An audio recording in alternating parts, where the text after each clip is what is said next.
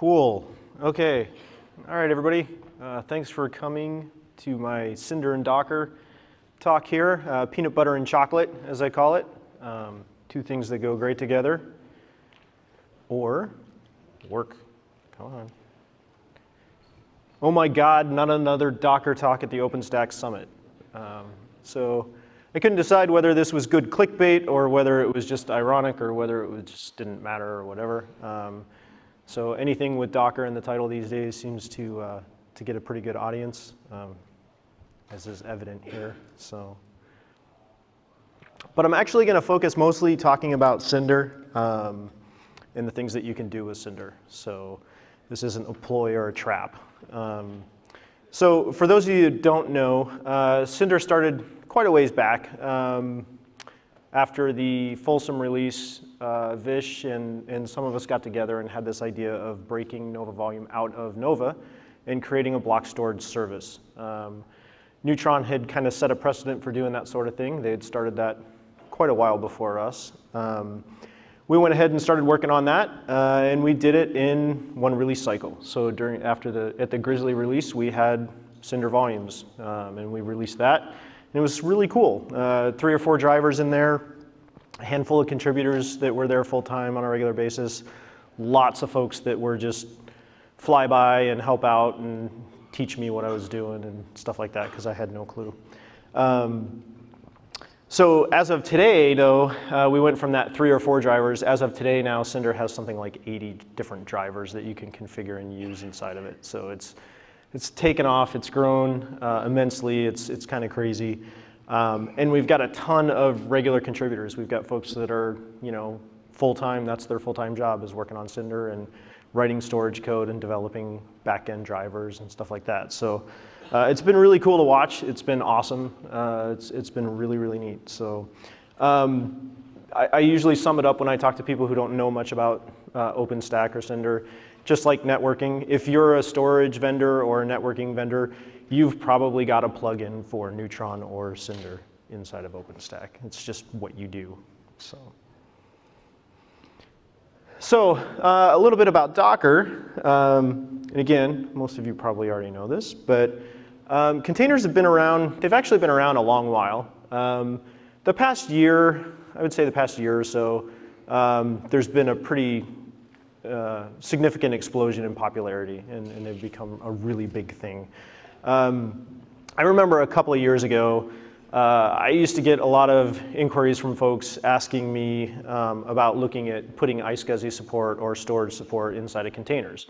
Uh, for a long time, that was kind of an issue for a lot of people. They didn't have any way to persist data. They didn't have a good way to persist data, I should say, inside of a container.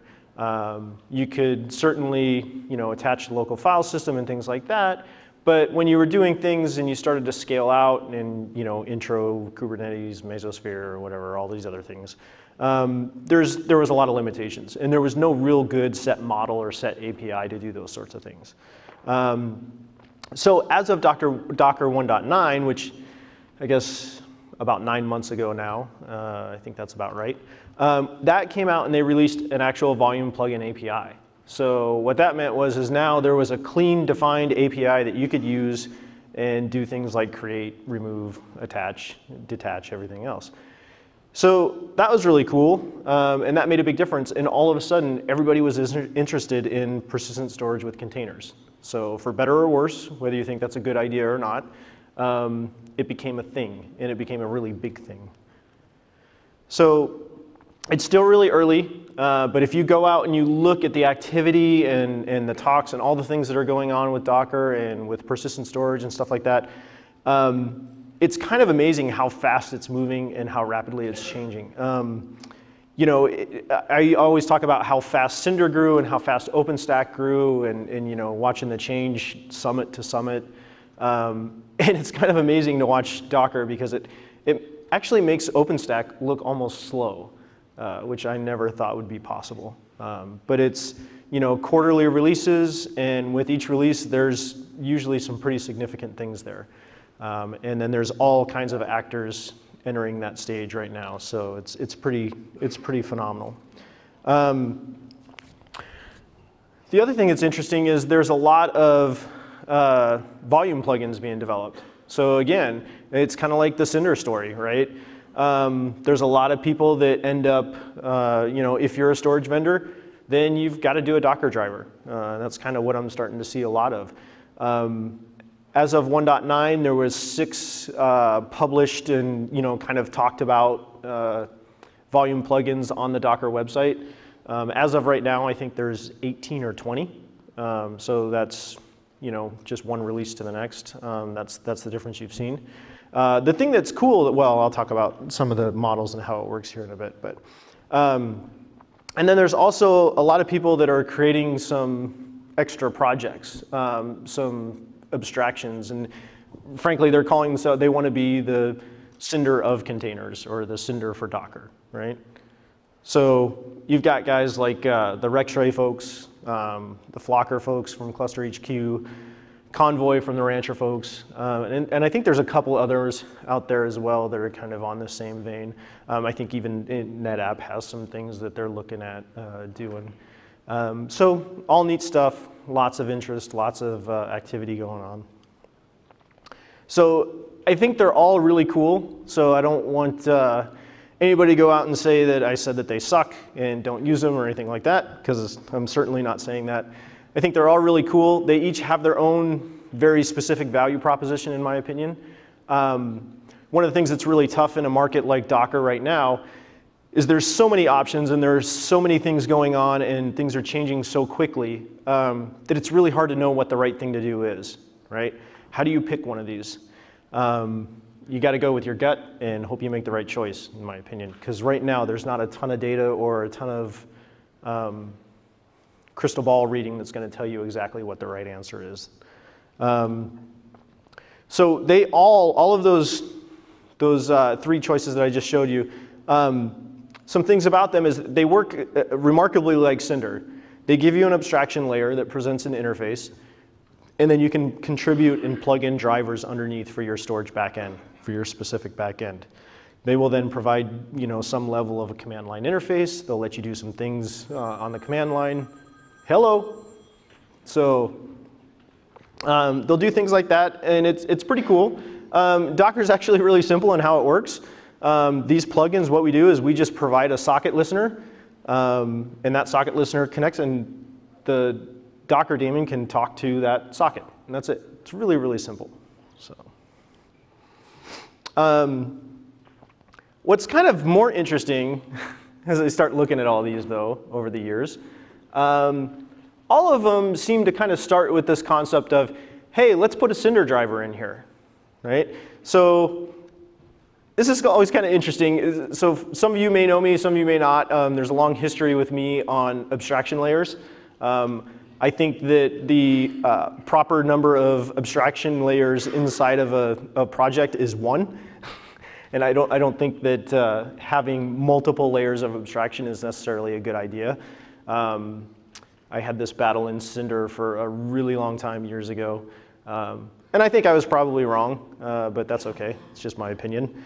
Um, but the thing is, as I look at all these, these people that are putting these Cinder layers underneath these other Docker projects and everything else, and my question is, is why? Um, is there anything that says Cinder has to be an OpenStack only thing? Um, when we started Cinder way back in the beginning, one of the things that, that I had actually planned on doing within a year was make Cinder a standalone service similar to what, what we do with Swift. Um, so here we are four years later, and I still haven't done it. So, but uh, that's okay.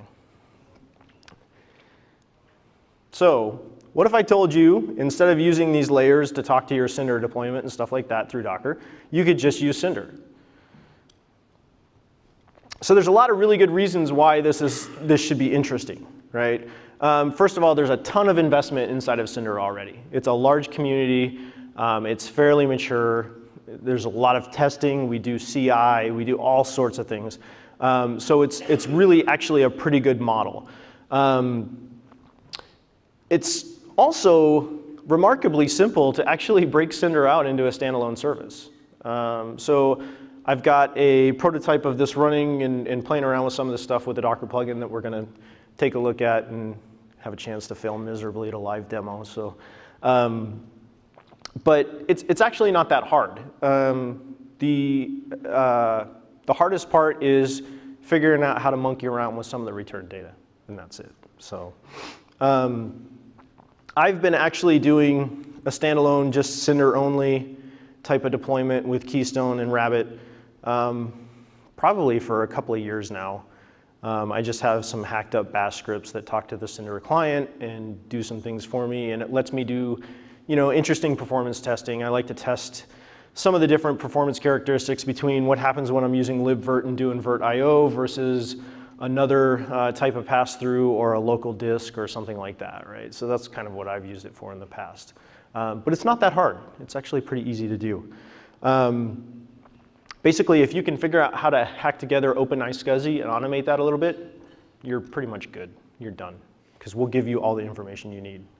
Um, so the beauty of that is we don't have to duplicate all this code, right? I mean, there's a ton of duplicate code out there right now. It's kind of crazy. Everybody's off doing their own thing. Uh, so the way I solve that is I go off and do my own thing and create some more, right? So. Um, but in all seriousness, if you already have OpenStack deployed, um, why not leverage it? You know, why not give it a shot and see if this works for you, uh, stuff like that. Um, now, if you're not an OpenStack user and you're not using OpenStack, there's probably still some value in this, but it may not be as compelling, so that's fine. But all right, so what do you need? Well, basically a running Cinder deployment. Um, Right now, currently, you can hack that together and make that work with just Cinder, Rabbit, and MySQL and uh, Keystone, and works pretty good. Um, if you've already got OpenStack deployed, just all you need is that auth endpoint, and you're just going to point to it and use it. So that's a piece of cake. Doesn't get any easier than that.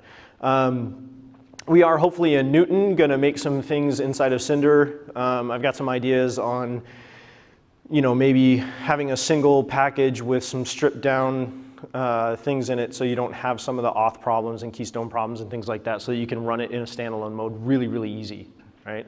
Uh, it's not really hard right now, but we could make it easier. So we'll take a look at that.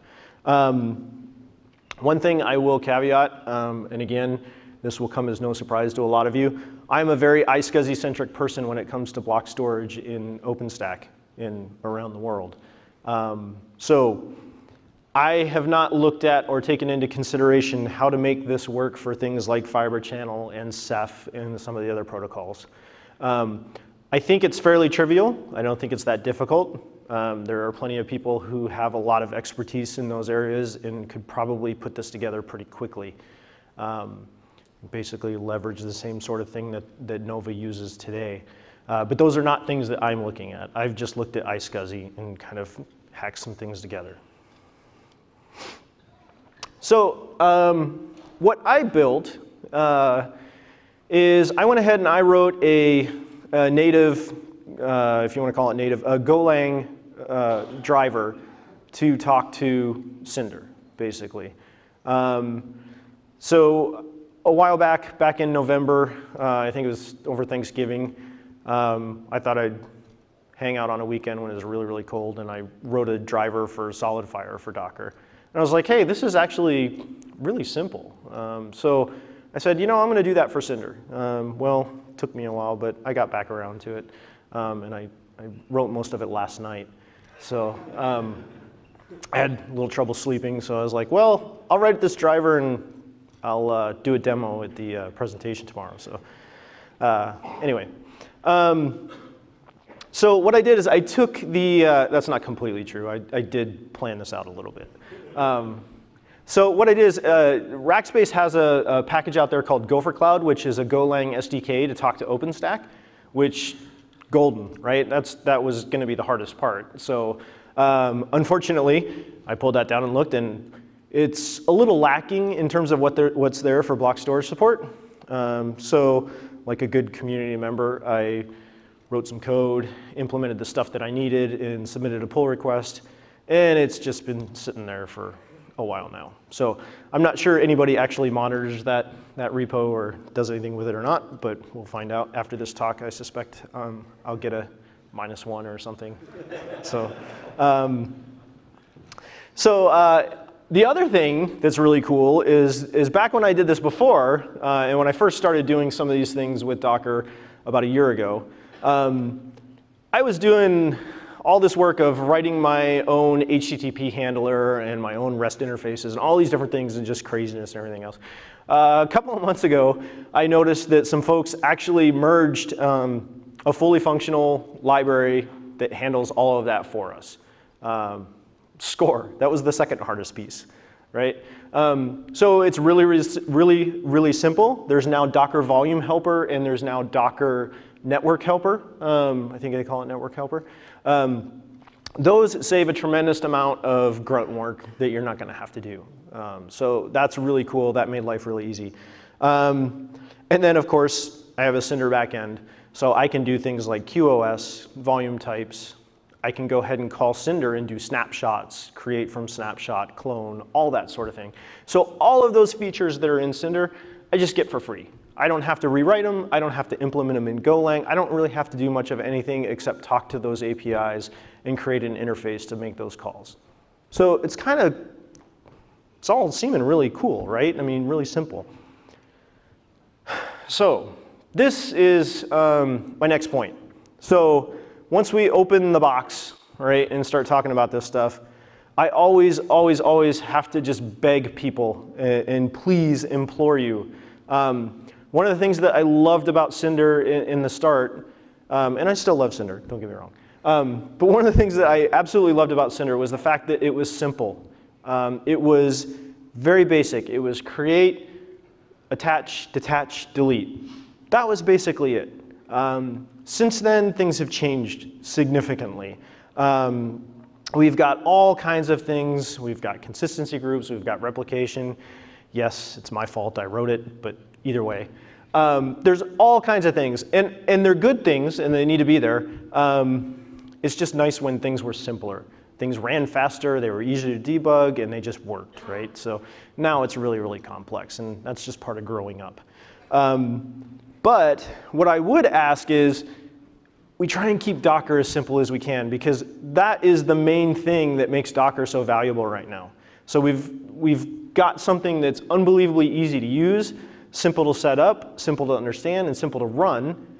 Um, so I, my concern is, is once everybody starts getting involved from the storage side, everybody's going to want their custom features in there, and they're going to start trying to push and do all that sort of thing. Um, so I'm going to get T-shirts made up, uh, sort of like Save Ferris. I don't know if any of you saw Ferris Bueller. So it'll be Save Docker, um, Save Docker volumes or something like that. Um, the other thing is, is if anybody's open to it, um, I'm happy to go ahead and just start stripping stuff out of Cinder, but I don't think anybody else would approve the code, so. All right, I got one. Okay. Um, what I always say is, uh, you know, Docker right now has basically everything you need and nothing you don't. Um, so you can create, remove, mount, unmount, get the path for where it's attached, um, get a volume, and do a list of volumes. Um, and actually, uh, list, I think, was just added. So uh, we're slowly growing, right? Um, really, quite honestly, um, the way the model works and, and the way the plugins are, since the plugins that you do don't actually go into the Docker tree or anything like that, they're external modules that you load, um, I, I think you could probably get away with this model for quite a while. Um, because if you want to do fancier things and more custom things and stuff like that, you can do it down at your layer and, and provide an interface to do that, i.e. give them Cinder, right? And, and use the Cinder client or the Cinder APIs and do whatever you want. Um, so I'm up here talking about all this code and everything else. Um, there's a link to the uh, Gopher Cloud pull request that I have up, which I actually have an update. I noticed this morning there's something I need to update that and send it up there. But again, nobody's looking at it. So uh, this is a hint. Anybody from Rackspace that works on Gopher Cloud, take a look, let me know. Um, it may not be any good. Maybe you don't want it. That's fine. But let me know because if you don't, I'll move on and do something else. So uh, the other thing is this uh, Docker driver code for Cinder that I have. Um, it's a POC. It's definitely a proof of concept. It's nothing fancy. It is down and dirty, and I mean dirty. Um, I will uh, get that up on my GitHub. Um, and I have this look over there because I didn't want you to notice there's no link there. So um, there's a few things I need to fix in there, and then also the internet in the hotel went out last night, so I gave up. So,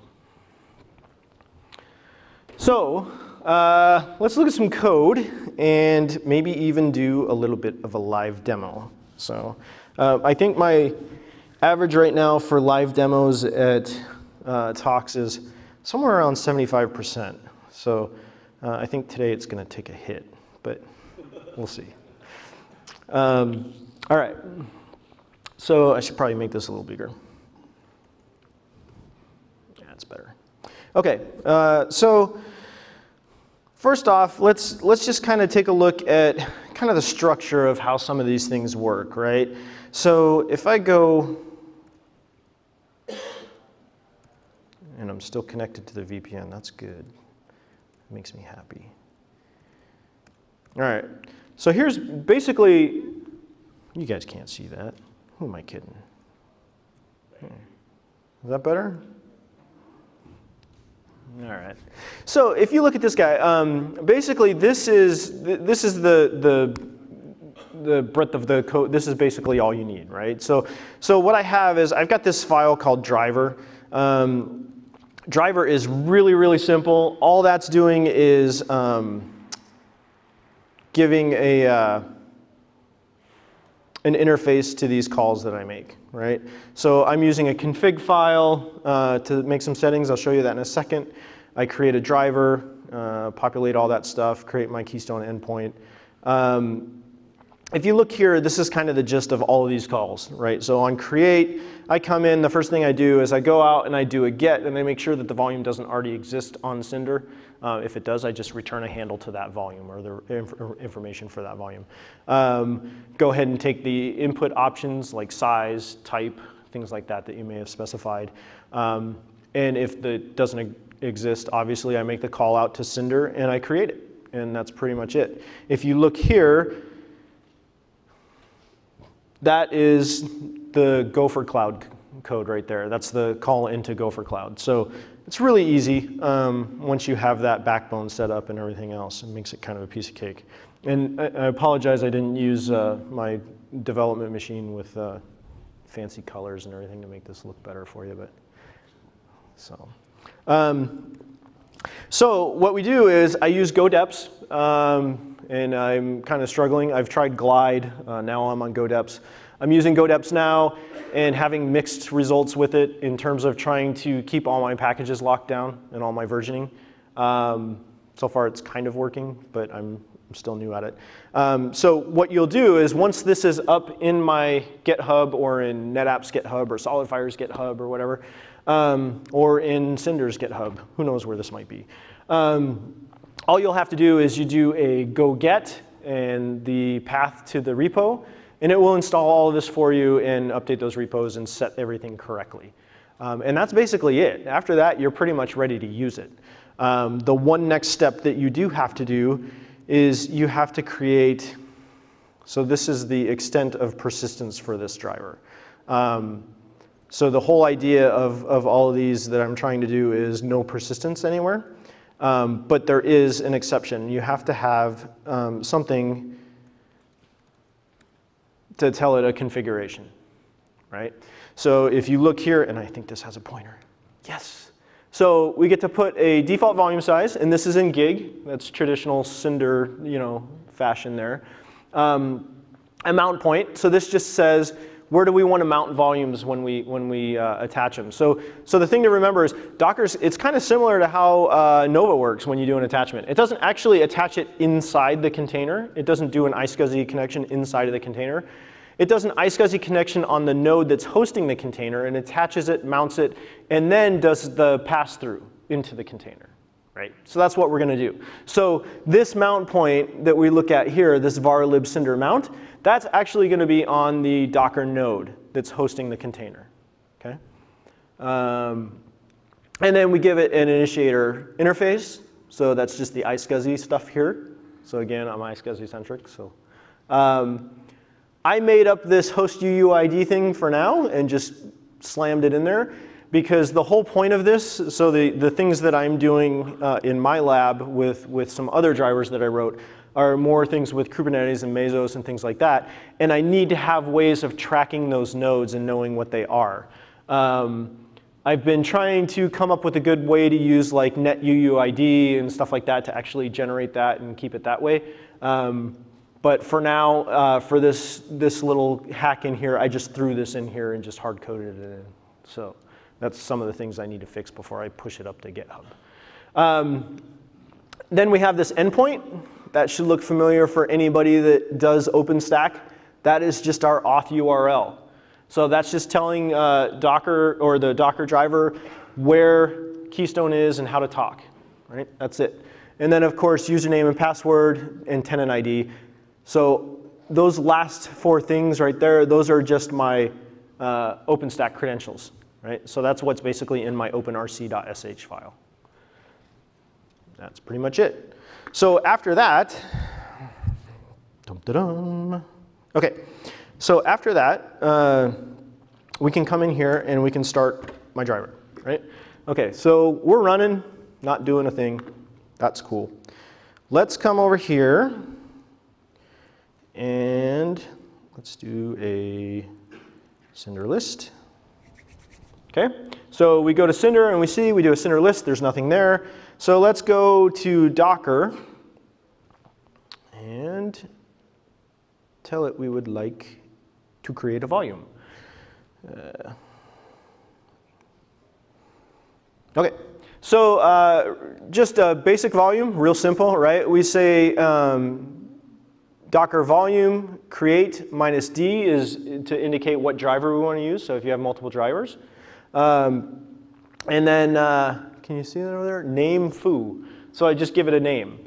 Uh, you can also give additional options. You can do a minus O and then give various arbitrary options. So you can do things like you know, a different size. Um, right now I'm just going to use the default. Um, one of the things I've always hated about Cinder is you have to put in a size. Just give me the default if I don't give you a size. Um, so you'll get a default of the one gig that we set in the config file. Um, you can specify size, type, uh, QoS specs, you know, all those sorts of things. Um, at some point, uh, if this goes further and, and there's interest, um, I'll actually figure out how to do some things like you know, create from a, uh, another volume and stuff like that if that's of interest. Um, you can still do that outside using uh, uh, OpenStack client or whatever, but we'll, we'll see. We'll see where this goes. Um, so we'll do that. If you come over here, you can look, I'm running this this log here. So you can see basically there's not a ton of info here, um, but basically I just created the volume um, and registered where that path will be. So Docker's a little funny. You have to tell it when you create the volume, you want to actually tell it and give it the information on where that path's going to be and everything else, and then you're going to return it again later, so it doesn't matter. But um, so that's why that var lib cinder mount foo, that's why that that's where that's coming from. So and I think that's a bug now that I think about it. Um, so if you now do a cinder list,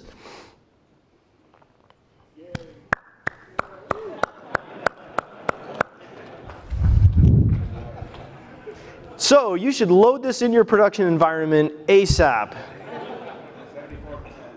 Yeah, there's one tick. Yeah, dang it. Uh, let's see, what did I do here?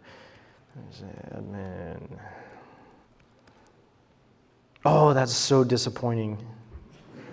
It really is. It makes me want to cry. what did I miss? Uh, hold on a second. Now, now, now. POC code. How can I be any more clear? You know, actually, I do this on purpose because um, I didn't want it to work because we'll have a better interaction with each other, right? so, um, okay, well, so I've apparently foobarred something, uh, so I'll have to go take a look and see what I did. Sorry about that. Um, hmm, odd, very odd. that should have worked. Well, that's always an option. No, I am not. No, I did not. I, that's what I was just looking at. Yeah, no, good call though, because um, uh, earlier this morning I did that and was like, so. Um, Well, sorry about that. Uh, so that's okay because uh, we're running out of time anyway, and there's there's a couple of things I want to talk about, and then give people a chance to to ask any questions or anything like that. Um, so that was less than impressive, but really I can do better. I promise. Uh, code was written at four in the morning, so. Um, so some of the things that I've been looking at with this, um, I'm a big fan of Golang. It's a lot of fun. Uh, there's, there's some reasons that it's, it's beneficial to use and stuff like that. Uh, but one of the things I was talking to with some of the folks on the Cinder team is if there's interest, um, it would probably be smart and kind of cool for something like this to actually live as a, a sub-project inside of Cinder um, and get the whole community behind it. Um, there would be a lot of advantages there. That way you could get people that want to do fiber channel and stuff like that and contribute and things like that. So um, the trick with that is, as some of you may know, OpenStack is traditionally pretty Python-centric. Uh, so I don't know if using Golang is the right way. So I've got another little prototype that I started spinning up to do all of this in Python. Uh, it was a little more difficult for me just because I had to rewrite the, the web interfaces and stuff like that. By no means really rocket science or anything hard, it's just figuring it out. Um, so that's an option. We can do that as well. The performance isn't quite as good. Uh, we should get some benchmarks. But uh, I'm going to raise it in some of the design sessions this week and see kind of what people think and, and stuff like that. So, but I think we'll, we'll definitely, for Newton, I would really like to see something, uh, you know, possibly community driven to, to kind of make this more publicly accessible. So anyway, uh, thanks a lot for your time. I am sorry about the demo. It's a little disappointing. I didn't even get to create a container and attach it. But um, uh, if there's any questions, um, I think we've got a minute, uh, but also feel free, to come on up and, and grab me. So thanks a lot.